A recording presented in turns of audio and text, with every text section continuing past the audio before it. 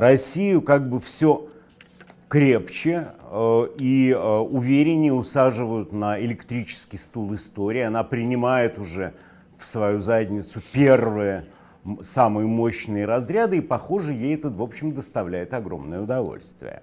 И если помню, вообще все электризуется. Не все это чувствуют и понимают, но все потрескивает. И вот а, ты знаешь, как раньше в средневековых городах реагировали на грозу? Ведь гроза считалась проделками демонов, и только самые именитые горожане имели право реагировать, выставляли из окон голые зады. Причем это казалось и касалось и дам, и мужчин. Понятное дело, что если то же самое будет проделано в России, то э, и дамами, и мужчинами, то, в общем, отличить лица от нелиц будет очень сложно, да, а то, что э, э, там у кого-то рот вертикально, но от того, что, блин, человек часто слишком выступал в Госдуме, главное, что бородка на месте, а значит, особь благочестивая и благонамеренная. Но вообще мы видим такой подлинно стахановский труд. Трудятся кремлевцы, трудятся по-настоящему, они капля за каплей испаряют вот тот океан свободы, в котором мы когда-то заново все родились, и уже от океана, в общем, осталась лужа, такая жалкая и грязная. В нее мочатся депутаты, отхаркиваются министры, блюют попы. А формально вообще это очень печальное зрелище, особенно тем, кто помнит волны свободы с белыми барашками. Было очень это все, в общем, красиво и хорошо, романтично. Были надежды. Теперь не осталось ни одной надежды. Этим уникально наше время. Сейчас особо интересно. И приговор надеждам, в общем, подписан самим Владимиром Гулаговичем и уже вступил в силу. Я наблюдаю за тем, как путинизм э, меняет людей, как он освобождает в этих людях все самое подлое, самое скользкое, самое злобное, вот то, о чем стеснялись люди вслух говорить, а постепенно вводится в норму. И никого уже, например, не удивишь тем, что красавец Стерлигов, который тоже не сам по себе, а тоже, в общем, рупор определенных сил, он призвал буквально клеймить девушек, не, не образно говоря клеймить, а прям вот выжигать на них физически клеймо. Девушек, которые ну, имеют личную жизнь, несмотря на то, что не состоят в браке. Вот Стерлигову, конечно, захотелось послушать треск горелого мяса, этих девчоночьих плечей или лбов, а поскольку сегодня, кстати, все в той или иной степени превращается в шоу, то клеймение вот это вот аморалок – должно стать вообще публичным действием, и на такие и продавать билеты, и найдутся интересанты.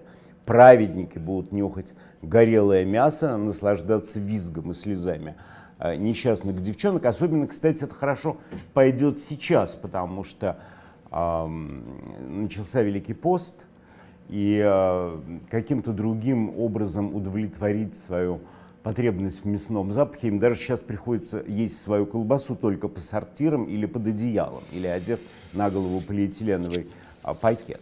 Но у меня вот есть такая идея, что коль скоро да, а, вводить клеймо для проституток, почему бы не утвердить особое клеймо и для а, дураков тоже? Если для проституток это должна быть канонически традиционно лилия, то для дураков это мог бы быть перечеркнутый мозг, которым, который можно ставить им на лоб. Хотя, вы знаете, на самом деле, Оля, этого ни в коем случае не стоит делать.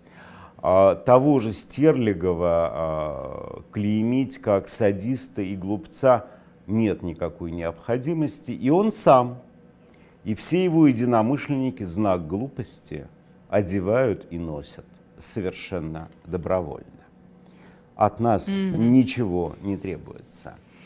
Но у, у Германа, в общем, действительно это относительно живое желание понюхать, э, хоть и горелое, но живое мясо. Да? Вот жареная кожа живых девчонок будоражит, вероятно.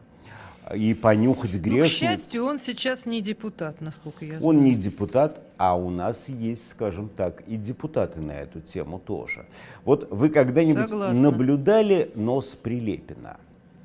Вот я наблюдаю mm. за тем, как ноздри а, лысого писателя, он они... обычно. Нет, нет, нет, нет, о нет. Он работает носом. Обратите внимание, когда он дает интервью. А, он все время, у него удивительно красноречивый нос. И дело даже не в том, что он бывший милиционер-вытрезвителя, и он натренировал а, нос на запахе шоферского перегара. Его, кстати говоря, как всякого милиционера-вытрезвителя, учили на расстоянии полутора метров чисто по запаху с расстояния унюхивать, в каком кармане лежит тысячная купюра у клиента. Это понятно, он умеет работать носом, но сейчас он, конечно, находится в поиске такого уже не жареного мясного свежего, а чисто трупозного духа. Он все время крутится, шевелится, дергается в поисках вот этого сладостного для него запаха. Не жареной, а именно гнилой или гниющей плоти. И ничего обидного, кстати говоря, в моих словах нет, потому что он сам это декларирует. Вот на этой неделе он сообщил, что срочно надо забирать Донбасс в состав России. И от этого предложения, конечно, пахнет дерьмом, соляркой и трупами. Это я вам как фронтовик говорю, что это и есть тот самый запах войны, которого, судя по всему, никогда не нюхал Прилепин. Судя по всему, он либо все врет, либо там какая-то патология. Потому что тот, кто один раз или несколько раз в своей жизни этот запах слышит, он сделает все, чтобы не услышать его больше никогда. Кто видел эти цинковые гробы с полуразложившимися мальчишками, тысячами, прущие а, в Россию, он никогда больше не произнесет слово «присоединить какую-нибудь землю» и не развяжет всего этого. А он сейчас призывал вернуть территории ДНР и ЛНР, да, потому что лучшего вообще способа настоящей горячей войны со всем миром придумать невозможно, так, чтобы сыпался кирпич, а, стада беженцев, трупы и ядерные бомбежки, соответственно. И, но мне вот интересен даже не Прилепин в этой ситуации. Мне очень интересно те депутаты справедливой России, бывшей справедливой России, которые угодили в это дерьмо. Понятно, для чего нужен Прилепин. Одрехлял Жирик. Нужен новый Жирик. Этим Жириком стал Прилепин.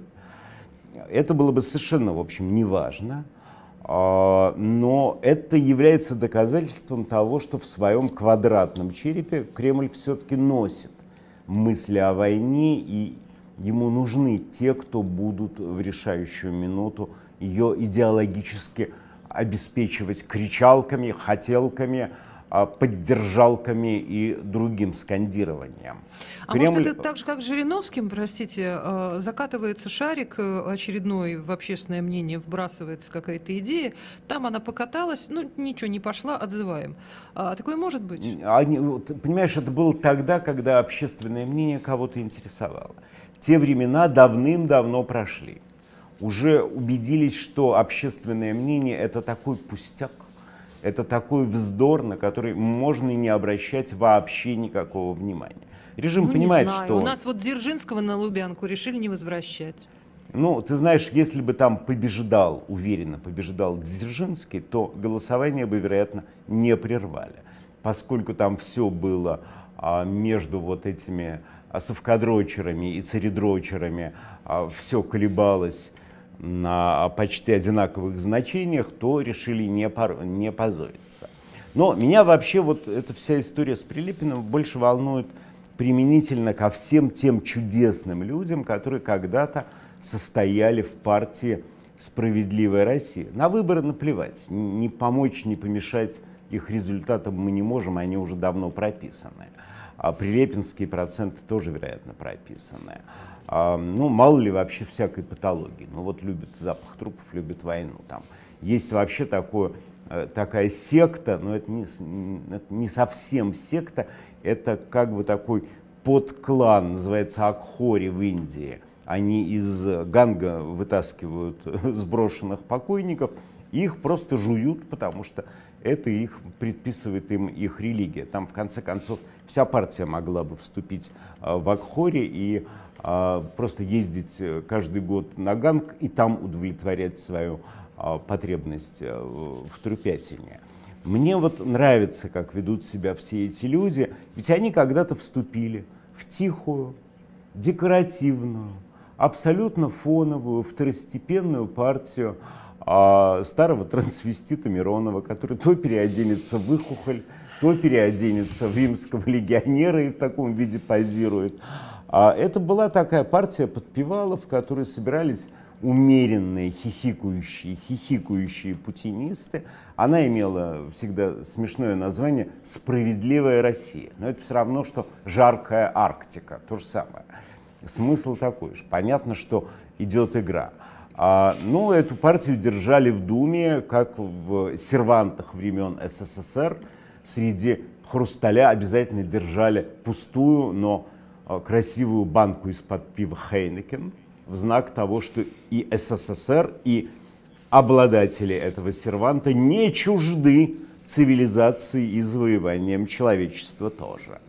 Это была такая легчайшая антисоветчинка, тот квант вольнодумства, который можно было позволить советскому человеку. А вот сейчас все эти люди, которые были в «Справедливой России», они все, в общем, оказались э, членами абсолютно маргинальной секты, у которой официальная программа трупы, трупы, трупы, кровь, цензура. И все равно, Оля, слушай, они как зайчики трясутся, но никто партбилеты никому в лицо не швыряет. Они понимают, что Александр это... Глебович, забули, забудем уже те времена, когда кто-то кричал, э, что он выходит из партии, потому что он там с чем-то не согласен. Нет. Это не, не те партии, не те люди. Это понятно, что состояние в этой партии это единственное гарантирует возможность пробраться хоть к какому-нибудь депутатскому креслишку, потому что система отстроена так, что иначе и не проберешься.